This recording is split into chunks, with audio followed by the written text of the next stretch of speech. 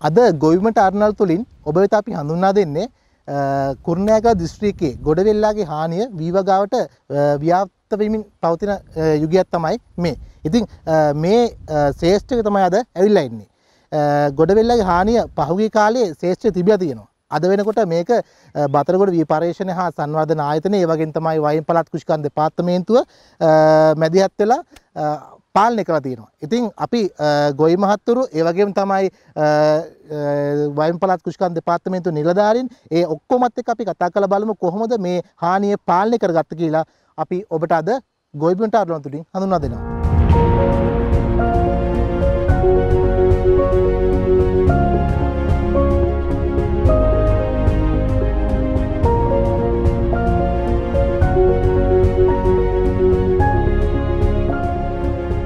දවස්වල ඇත්තටම මේ වී වගාවේ විශේෂයෙන්ම ලපටි ගොයමේ පත්‍ර සහ කඳ කාදමන දළඹු හානි වර්ග තුනක් වාර්තා වෙනවා ලංකාවේ විවිධ ප්‍රදේශවලින්. එයින් වැඩියත්ම කුරුණෑගල දිස්ත්‍රික්කයේ බොහෝ ප්‍රදේශවලින් තමයි මේ හානි වාර්තා වෙන්නේ. මේ දළඹු වර්ග ගැන පොඩි පැහැදිලි කිරීමක් කරනවා නම් පළවෙනි එක වැඩි වශයෙන්ම වාර්තා වෙලා තියෙන ගොඩවෙල්ලා කියලා හඳුන්වන එහෙම නැත්නම් විද්‍යාත්මකව ස්පොඩොප්ටෙරා මරුෂියා කියලා හඳුන්වන දලඹු විශේෂය.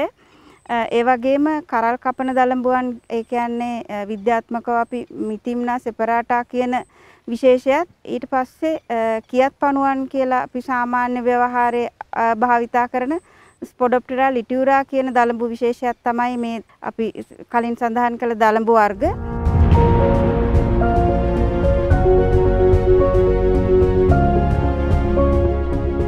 මේ තියෙන කටුපිටිය හේවා පොළ යාය මෙතන අක්කර 70ක විතර වපසරියක් වෙනවා මේ ආයට පහුගිය මාසේ දලබුහානිය වාර්තා වුණා. ඇත්තට මේක වසංගත තත්වයට ආවා. ඉක්මනටම පාලනය කරගන්න ඕනකම නිසා ගන්නොරේ පැලෑටි ආරක්ෂණ සේවයේ සහයෝගය ගත්තා. ඒ වෙලාවේ අධිබල ඇති ස්ප්‍රේ යන්ත්‍ර දෙකක් ගෙනල්ලා ඇත්තටම සෙනසුරාදා ඉරිදා දවස් දෙක තමයි යෙදුනේ. සම්පූර්ණයෙන්ම මේකට කාලය වැය කරලා සම්පූර්ණයෙන්ම කෙමිකල් යොදලා පාලනය කරගන්න හැකියාව ලැබුණා. ඒත් එක්කම ඊළඟ දවස් දෙක තුන ඇතුළත හොඳ වැස්සක් වැස්සා. ඒ වැස්සත් එක්ක ආයෙමත් ගොයම යථාවත් වුණා. දැන් මේ තියෙන්නේ ඒ මෙතෙන්ට දැන් මාස එකහමාරක් විතර වෙනවා මේ ගොයමට. ඇත්තටම දැන් අපිට පාලනය වෙලා ඉවරයි.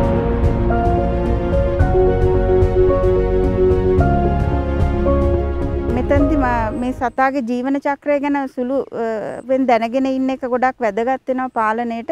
මේගොල්ලන් බිත්තර දානවා සමහරට ගොයම් ශාකයේ පාදස්ත කොටසේ පත්‍රවල එහෙම නැත්නම් ඒ ආසන්නව තියෙන තෘණ ශාකවල මේගොල්ලෝ බිත්තර දානවා. එතකොට මේ බිත්තර මේ කැදලි විදිහට තියෙන්නේ මේක කැදල්ලක බිත්තර 100ක් 200ක් වගේ තියෙනවා. ඒ වගේම එක ගැහැණු සතෙකුට එයාගේ ජීවන කාලය තුලදී බිත්තර 1000ක් පමණ දක්වා දාන්න පුළුවන්. එතකොට මේ මේ බිත්තර පුපුරලා එන පැටවුන් ඊට පස්සේ මේ පත්‍ර කාදමීම ආරම්භ කරනවා.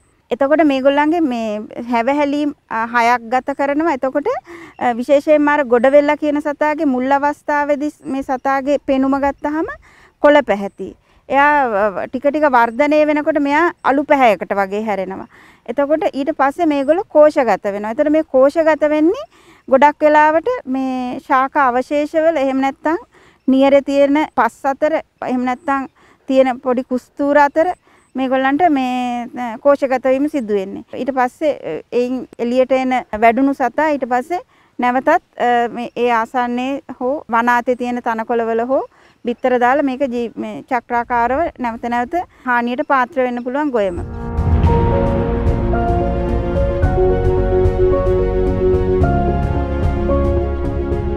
මේ ආය ඇත්තටම සති දෙකකට විතර කලින් ඉතා විශාල වසංගත තත්ත්වයේ දළඹු හානියක් ඇති වෙලා තිබුණා. දළඹු හානියේ වසංගත තත්ත්වයට පත් වෙලා තිබුණත් මේ නියගය නිසා වී වගාව ගොවි ජනතාව විසින් අත්හැරලා දාලා තිබුණේ.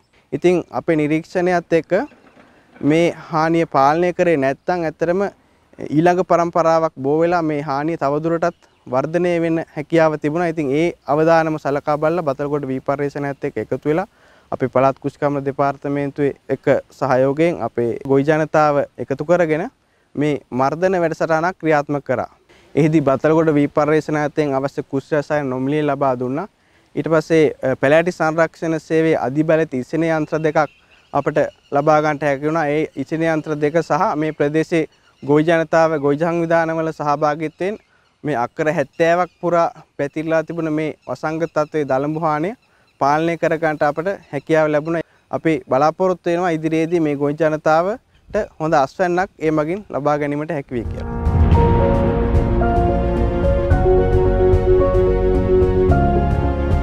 වඩා වැදගත් වෙන්නේ අ, මේ දළඹුවන්ව කොහොමද පාලනය කරන්නේ කියන එක. මොකද මේ දළඹුවන් වර්ග තු- තුනම අ, කරන්නේ ගොයම ඉතා සීග්‍රයෙන් කා දැමීම. එතෙන්දී මේගොල්ලන්ගේ හානියට පාත්‍ර වෙච්ච කුඹුරු ගොඩක් වෙලාවට අපිට දකින්න පුළුවන් ගවයින් කා දමපු කුඹුරු වලට සමානයි.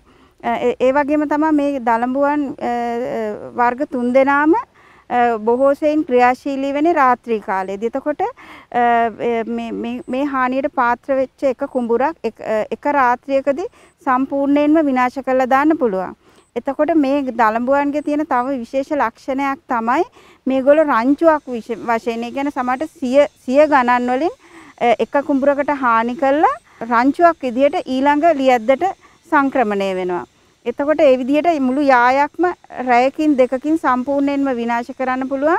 ඒ වගේම ඒගොල්ලන්ගේ තියෙන අනිත් ගැටලුව තමයි මේගොල්ලන්ට කො- මේ ගොයම් ශාකය විතරක් නෙමෙයි තව බොහෝ ශාකවල විශේෂයෙන්ම මේ විවිධ තනකොළ වර්ගවල ගෝවා කුලයේ ස- සමහර ශාක ඒ වගේම අ, බඩ ඉරිඟු භෝගය ඒ වගේ විවිධ භෝගවල සහ මේ මේ වනාතේ තියෙන විවිධ තනකොළ වර්ගවල මේගොල්ලන්ට යැපෙන්න පුළුවන්. ඒ නිසා මේ මෙතනදී ඉතාමත්ම වැදගත් වෙනවා අ, මුල ඉඳලම කුඹර ගැන හොඳට සුපරීක්ෂාකාරී වෙලා මෙම හානිය මුල් අවස්ථාවේදීම හඳුනා ගන්න අ, ඒක ගොඩක් වැදගත් වෙන්නේ අපි ප්‍රමාද වෙන එක දවසක් තුලදී සම්පූර්ණ කුඹුරම විනාශ වෙලා යන්න පුළුවන්.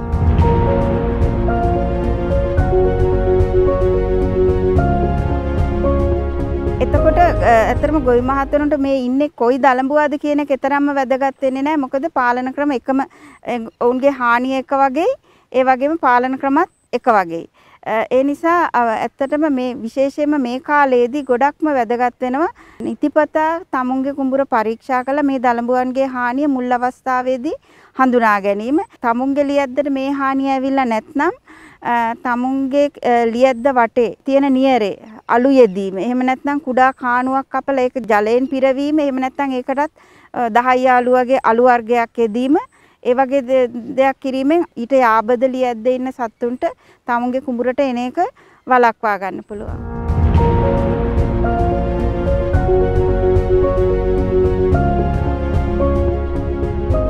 ඒ කෘෂිකර්ම නිලධාරී මහතුරුන් ඇවිල්ලා අපට සහනයක් ලබා දුන්නා. මේ කුඹුරු පිටි සේරම පණුවෙක්ගෙන් අසානාසි වෙලා ගෝයන් ගස් ටිකත් මුලටම කාලා තිබ්බා. ඒ කෘෂිකර්ම නිලධාරී මහතුරු ඇවිල්ලා ඒවට ඒ, ම්, කරන ඒ උපකාර ඒ දේවල් කරලා දැන් ටිකක් ගෝයන් හොඳට හැදීගෙන එනවා.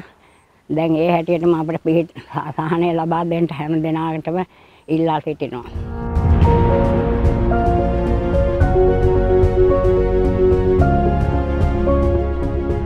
විශේෂයෙන්ම අනිත් වගාවන් වගේ නෙමෙයි වී වගා පද්ධතිය කියන එක ජෛව විවිධත්වයෙන් අනූන පරිසරයක් එතන තියෙන්නේ. එතන ඉන්නව ආ, මේ ගොයමට හානි කරන සතුන් ඉතා සුළු සංඛ්‍යාවක් ඉන්නේ. ඒ සත්තුන්ව කා දමන ඔවුන්ගේ පරපෝෂිතයින් විලෝපිකයින් රෝගකාරකයින් අති විශාල සංඛ්‍යාවක් ඉන්නවා. එතකොට අපිට ගොයම් වගාව නැත්නම් වී වගාව කියන එක ලාභදායක සහ පරිසරයට හිතකරන්දමින් පවත්වාගෙන යන්න නම් අපි කරන්න ඕනේ වී වගාවට පලිබෝධනාශක යෙදීම හැකි තාක් අවම කිරීම. ඒක වෙන විදිහකින් කියනවා නම් අපි පලිබෝධනාශක යොදන්න අවශ්‍ය වෙන්නේ අ, විවිධ පලිබෝධකයන්ගේ වසංගත තත්ත්වයට අ, ආ- ආස්- අ, පත් වෙන බව අපිට දැනෙනවා නම් ඒ වගේ අවස්ථාවකදී තමයි. මොකද එහෙම නැත්නම් අපිට හැමතිස්සෙම කරන්න ඕනේ වෙන්- මේ- මේ අපි බලන්න ඕනේ වී වගාවේ ස- ඉන්න ස්වභාවික සතුරන්ව පවත්වාගෙන ඔවුන් මගින් අපි අවම පිරිවයකින් තමයි වී වගාව අ, මේ පවත්වා ගන්න ඕනේ.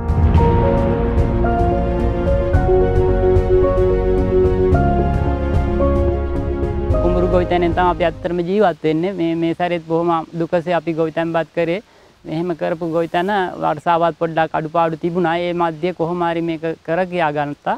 අපේ කුඹුරුවලට මේ විශාල හානියක් උග්‍ර සා- හානියක් වශයෙන් පත් වුණා මේ මේ පණුවෙක් මා හිතන්නේ අපිට හිතා ගන්න බෑ ඇත්තටම මොකಾದ කියලා ඒ තරමට අපි ඉස්සර හිතුවා වේ- ගොලවෙල්ලු කියලා පණුව වර්ගයක් හිටියා උන් වෙන්නේ නැති කියලා අපි එච්චර හිතුවේ නෑ පස්සේ බලන්න බලන්න මේක ශීඝ්‍රයෙන් වර්ධනය වෙනවා දවසපතා දිනපතා දවසෙන් දෙකේ විනාශයට පත් වුණා. ඉතින් අපිට එන ප්‍රතිලාභය අපේ ජීවන රටාව බොහොම අගාධයට වැටෙනවා. ඉතින් මේක කරගෙන යන්න මෙතුමල්ලගෙන් ලොකු පිහිටක් තමයි අර අය වෙලා දීපු සත්‍යය කියන්නේ මේ අපිට කර- කරගන්න බැරිකමට වඩා මේගොල්ලෝ සත්‍යයක් දුන්නා මෙන්න රජයෙන් අනුග්‍රහය මෙන්න රජයෙන් අපිට කරන්න පුළුවන් උපරිම සහය ලබා දුන්නා කියලා මේ අපේ කුසි පර්යේෂණ කුසි දෙපාර්තමේන්තුවේ අ, සර්ලා ඉක්මනින්ම මේකට සකස් කරලා දීපු එක ගැන ඉතාම සතුටු වෙනවා. මොකද මගේ ය- ඉදිරි ආදායම ලාභය ප්‍රයෝජනයට වඩා ගොවියාව සත්තිමත් කරා. ඒ කියන්නේ ගොවියට ලොකු ජීවයක් දුන්නා.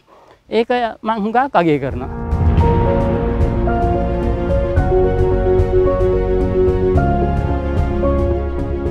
එතකොට දැන් අපි මේ අවස්ථාවේදී මේ දලඹු හානි ගැන කතා කරනකොට අ, අපිට පුළුවන් සුළු වශයෙන් අර නිරන්තර සුපරීක්ෂාව නිසා අපි මුල් අවස්ථාවේ හඳුනාගත්තොත් අපිට හැකියාවක් තියෙනවා නම් අ, කොහොඹෑට නිස්සාරකය වගේ දෙයක් යොදන්න පුළුවන් කෙලින්ම අපි පලිබෝධනාශක වලට යන්නේ නැතුව. නමුත් අ, මේ පවතින තත්ත්වය යටතේ වසංගත තත්ත්වයකට ආවොත් අපි අනිවාර්යයෙන්ම අ, කෘමිනාශකයක් යොදන්න ඕනේ. ඒක යොදන්න යොදන එක වැදගත් වෙන්නේ ඒ ක්ෂේත්‍රයට විතරක් නෙමෙයි පොදුවේ ගත්තාම මේ ප්‍රදේශයේ තියෙන අනෙකුත් වගාවන්ට මේ හානිය ව්‍යාප්ත වෙන එක වළක්වා ගන්න පුළුවන්.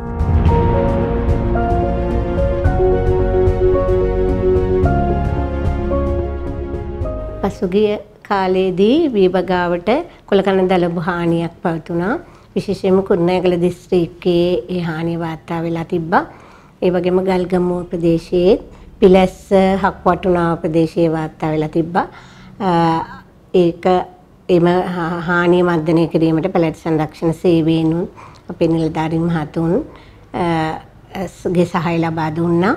අ, මින් ඉදිරියට එවැනි හානියක් වාර්තා වෙනවා නම් ම්, විශේෂයෙන්ම ස්පොඩොප්ටෙරා විශේෂයේ දළඹුවන් තුන්දෙනෙක්ගේ හානිය තමයි දවස්වල දකින්න දක්නට ලැබුණේ. අ, එම හානිය දැන්- දැනගත්තොත් 19 20 හෝ පළාතේ අ, කෘෂිකර්ම උපදේශක මහතා හෝ පැලෑටි සංරක්ෂණ සේවයට දන්වන ලෙස අපි ගොවි මහතුන්ගෙන් ඉල්ලා සිටිනවා. අද වන විට ගොඩවෙල්ලාගේ හානිය අ, හොඳින් මර්ධනය කරලා තියෙනවා. මේ සඳහා වයම් පළාත් කෘෂිකර්ම දෙපාර්තමේන්තුව බතලගොඩ වී පර්යේෂණ ආයතන නිලධාරීන් ගොවින් හා සම්බන්ධ වෙලා අ, මහඟු කාර්යයකින් පස්සේ තමයි මේක මර්ධනය කරන්න අවස්ථාව ලැබිලා තියෙන්නේ. ඉතින් මේ පිළිබඳ මොනියම් හෝ ඔබට ගැටලුවක් තියෙනවා නම් ඔබට පුළුවන් නියෝජ්‍ය කෘෂිකර්ම අධ්‍යක්ෂක නියෝජ්‍ය කෘෂිකර්ම අධ්‍යක්ෂක කාර්යාලය කුරුණෑගල කියන ලිපිනයට ලිවීමෙන් ලබා ගන්න පුළුවන්. ඒ වගේම තමයි ඔබගේ ළඟම පිහිටි අ, කෘෂිකර්ම ව්‍යාප්ති කාර්යාලයට බදා දවස ගියොත් එහි කෘෂිකර්ම උපදේශක මහත්මයෙක් හරි මහත්මයක් හරි ඇඳ සිටිනවා. එතුමා හරි එතුමිය හරි හම්බ වීමොත් ඔබට පුළුවන් අ, මේ පිළිබඳව වැඩි දුර විස්තර ලබා ගන්න. අ, තවද ඔබට පුළුවන් සති දවස් 7ම අපගේ 19 විස්ස දුරකථන අංකය විවෘතයි. අ, මේකට ඇමතීමක් ලබා දීමනොත් ඔබට අ, ගොඩවෙල්ලාගේ හානිය පිළිබඳව තොරතුරු ලබා ගන්න පුළුවන්. ඉතින් අපි තවත් සත් දෙනකින් අ, මෙවැනිම කෘෂිකාර්මික තාක්ෂණික වැඩසටහන් සමගින් ඔබ හමුවීමට ඒමී බලාපොරොත්තු ඇතුව ඔබෙන් සමුගන්නවා ඔබට සෝදායි සතියක්.